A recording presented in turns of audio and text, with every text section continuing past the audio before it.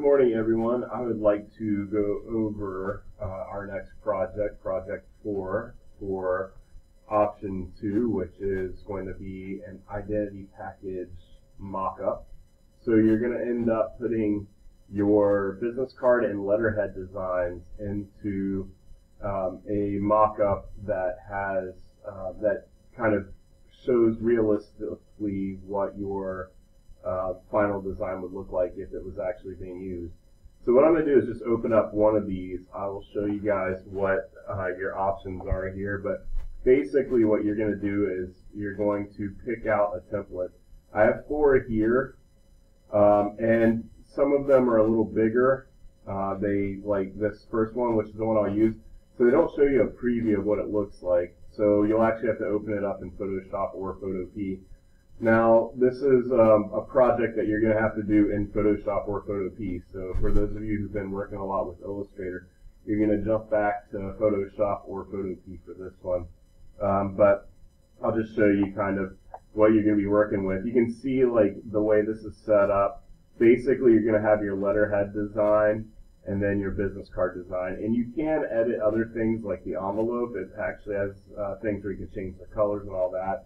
I mean, it's a Photoshop file. You can fully edit and all that stuff. But um, what I'm looking for is just that realistic representation of your uh, design. And I'll show you how to do that really quick in just a minute. Here's the other, another one of the templates.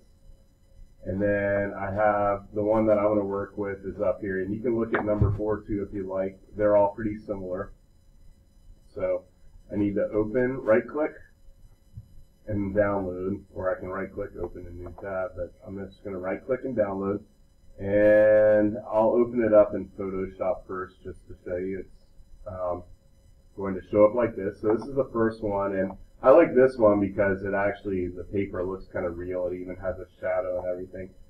Um, and so I'm going to take a design. Um, this is only a one-sided um, mock-up for the business card, so you're going to want to put your side that probably has contact information or, you know, something to that effect in there.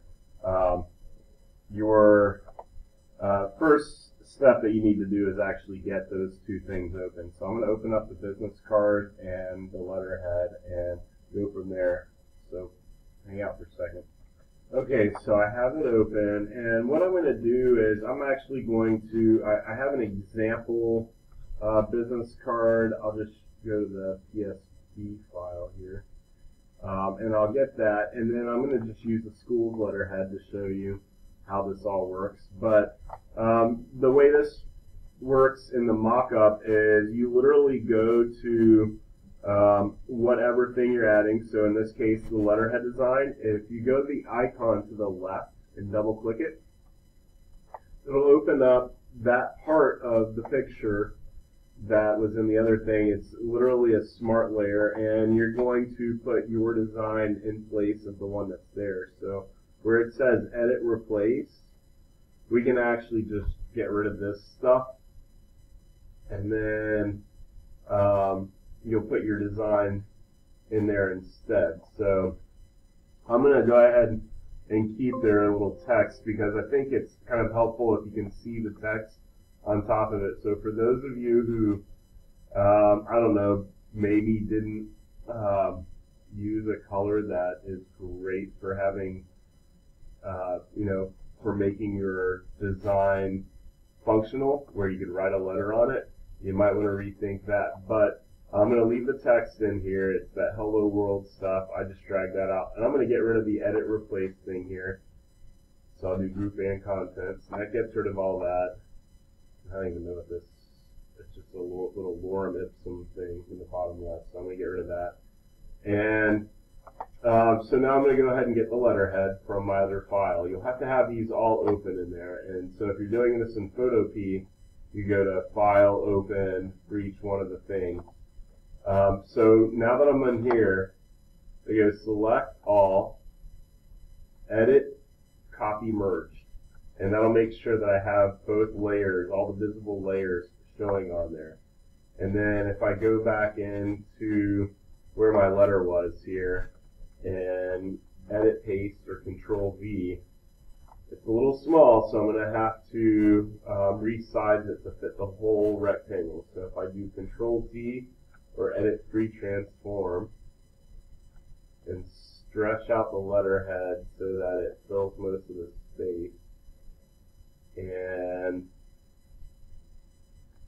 just double click it, I can even move my letter, you know, somewhere more centered or whatever so I can see what that looks like. Now I have to do to update the other file, I'm going to center this a little better, is go to File Save. And then I'm going to close that file out. And if I go back into the branding stationery mockup, I can see, oh, there's the letterhead. And it creates, like I said, that whole um, like kind of curled over effect with the shadow and everything. Now I'm going to do the business card, and so for the business card, let me close up the letterhead. Business card, I just literally will go in here. Again, um, if you're working off of that other template, you'll have to double click on the thing to open up the smart layer and all that stuff. Uh, so once you double click on the icon and open up your smart object, you can go select all, edit, copy merge, and then I want to go into here and I want to go to where it says your business card design.